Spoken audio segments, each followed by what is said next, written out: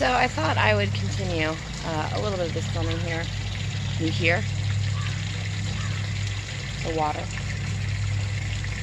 coming underneath the tarp. There's a pump there.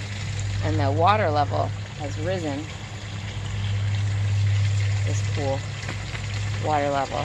We've been filling up the water that's accumulated over the rain, over the, the fall and the winter and the early spring. We're, we're this the pool cover is drying off in the sun as we dump out water. We get the icky, well, mulch ready leaves and sticks and stuff.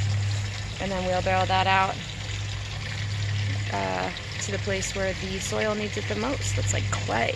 It's not, needs, needs some help. Other plants here, they don't need, they don't need our help as much. As you can see, they're doing quite well. Quite well indeed. Look at these pretty roses. So pretty. All right, manual labor.